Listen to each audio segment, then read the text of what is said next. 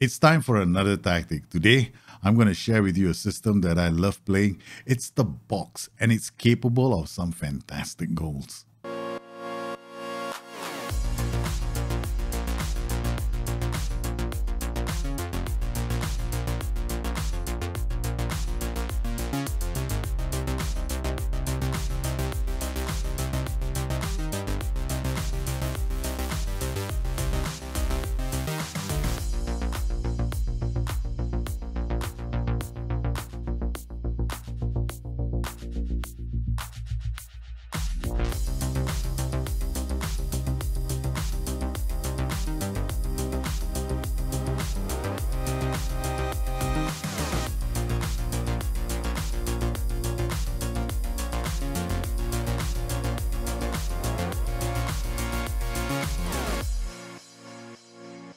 If you have any tactics out there that you're inspired with, let me know in the comments below. Maybe we can do another one of these tactical shows very, very soon. Yes, the box. What makes the box system interesting is the way it's set up. You've got four attacking players in the opposition third. Two of them are normally going to be sitting on top of the defenders, and another two are going to be very close to central midfielders. This makes it pretty challenging to work the ball out from defense towards the central midfielders. The goalkeeper is usually going to be forced into using the fullbacks. When they use the fullbacks, this is the only lane that is going to be open to them. The goal here is for the defending team that's playing the box apply pressure on the fullbacks when they get the ball, force them to go back inside again. This means that as the fullback receives the ball, his passing lanes are going to get blocked we want to make sure that his only avenue is towards the middle.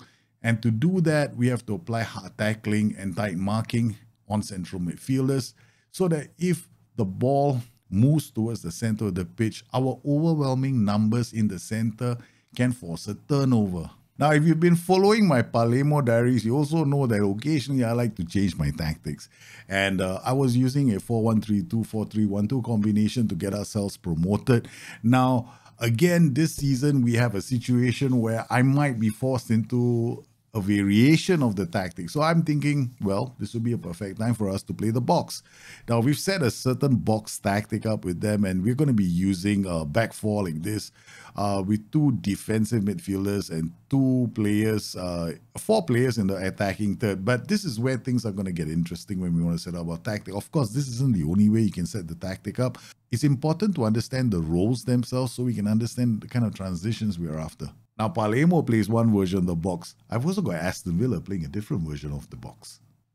All right, it's time for us to talk about some of the roles and duties in this tactic for the version that I'm releasing. Of course, there are multiple versions of this tactic. Let me just let me just explain some of the roles and duties here. Now, you can play this with a regista or you can play with a DLP or a roaming playmaker. Why regista? Why did I go with a regista? Because you don't need somebody who's going to have to bust the gut to get up the pitch. Roaming playmaker, you do. Deep line playmaker is a holding position role. The only role that holds this position is the deep line playmaker. Regista is a bit less aggressive or I won't say aggressive, a bit you don't need acceleration for a regista. Whereas you want you need like a lot of stamina as well for a roaming playmaker. So we've got regista. Regista is a fantastic role because he's going to try and uh, release balls from deeper areas. We got Volante who's going to bomb up down the pitch. Then the final third, the configuration. Well, here we've got many configurations. We got F9 advanced forward, AP and attack shadow striker. Why?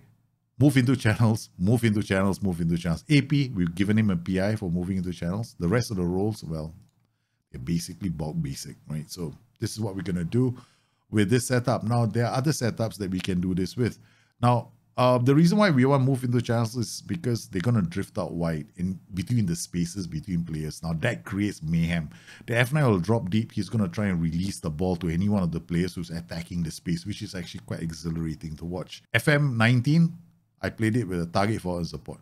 And I had this as an AMA. Still work. Except FM22 AP is now very, very good. So you want to think about how you can use an AP. So here we've got, there's one version can use the target forward.